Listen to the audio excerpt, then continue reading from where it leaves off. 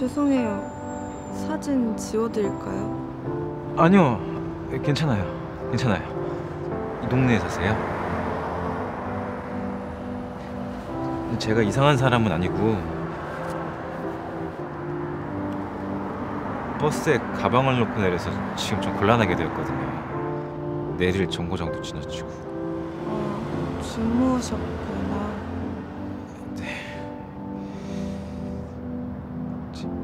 그래서 말인데요.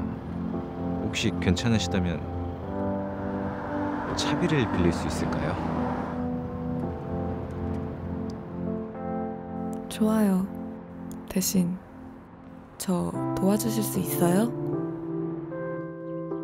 상부상조 향교에서 만나서 그런지 문득 그 말이 머리를 스쳤다. 저쪽으로 옮길까요? 아, 네. 사진 작가신가 봐요. 네? 사진 작가세요? 취미 생활이에요.